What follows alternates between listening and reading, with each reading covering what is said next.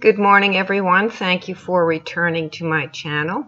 I just want to welcome you back, and I'm hoping that the words you are receiving here on this platform are encouraging and building you up in faith and helping you to draw near to the Lord Jesus Christ in these troubling times we're living in. For those who are new to my channel, thank you for joining me today.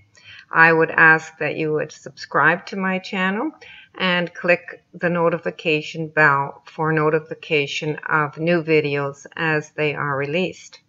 And thank you for joining me all today. Today I would just like to share what the Lord has put on my heart this morning as I sat with him. He reminded me that his word is quite clear that in the last days we will see troubling times on the earth, that there will be great wickedness and unrighteousness, and that we will see men turning away from God who become haters of God and haters of men. And I think we know that we are in these times and that we are seeing these things round about us. We are seeing evil in every area of society.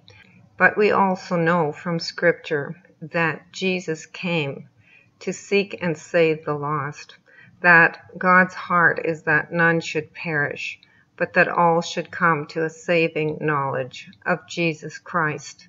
And we also know from Scripture that our battle is not a battle against flesh and blood, that it's a battle against evil forces in heavenly places. And we know that our true enemy is Satan. And we know too that the enemy works through men. And there are strongholds in the lives of many who have been captured by the antics of the enemy, who have been deceived by him. But in this day, the Lord is campaigning for the lost and he is going ahead of us and doing a great work amongst us to bring in the lost. His heart is that these who have fallen away and the ones who have been captured by the enemy would turn, repent of their sins, and make their relationship right with the Heavenly Father. I hope as you listen to this word, it will encourage you that though we live in troubling times, in the end times, in times of this great wickedness, that God is moving amongst us and He is accomplishing great things.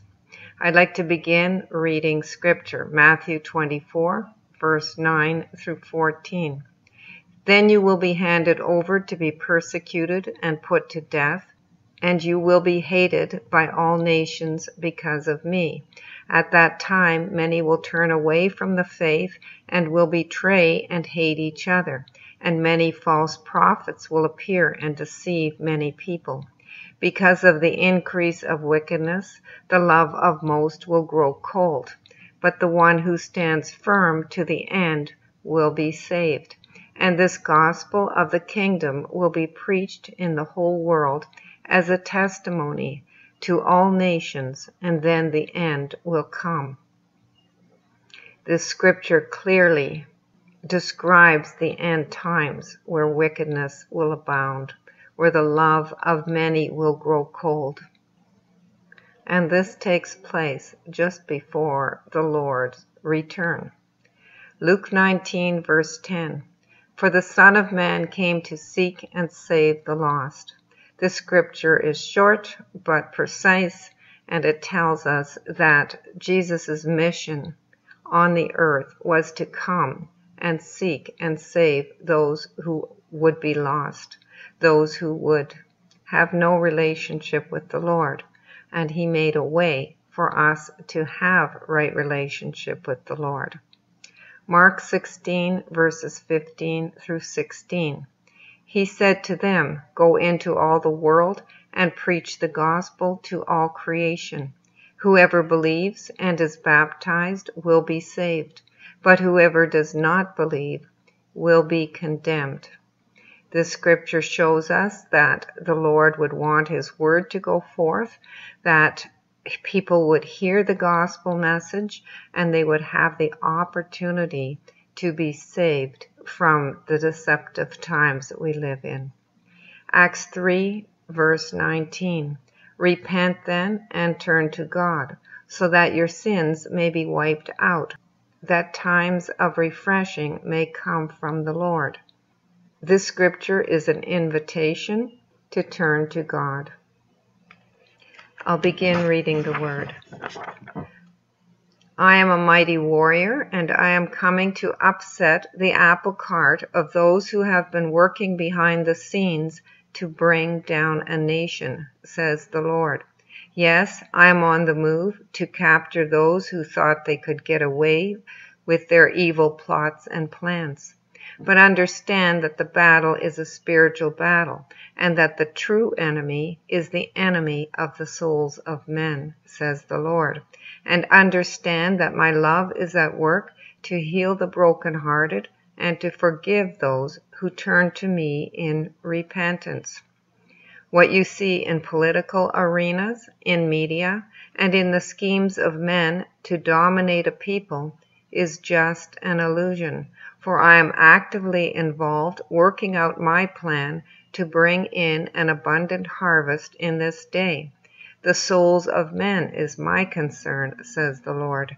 I desire that none should perish, but in this generation I have been taken to the task.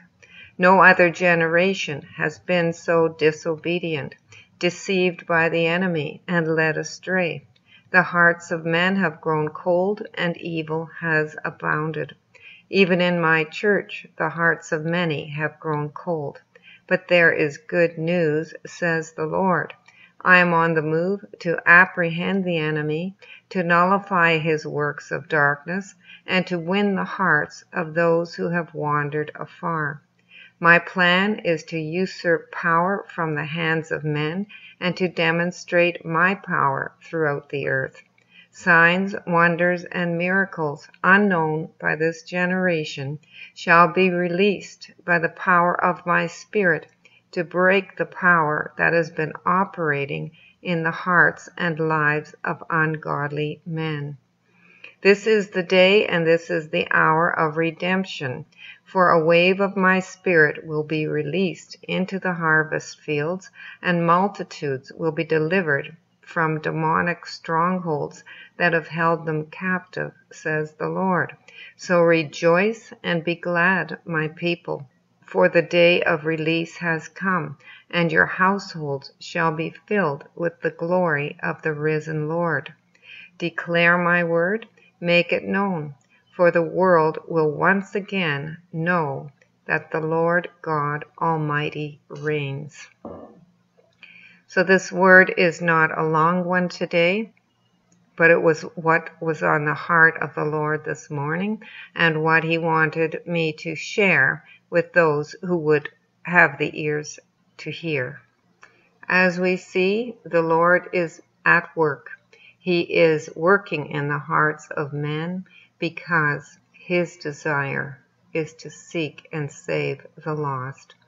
Even in these last days, he is giving another chance to those who have wandered away from him and those who have been caught in the clutches of the enemy's plans.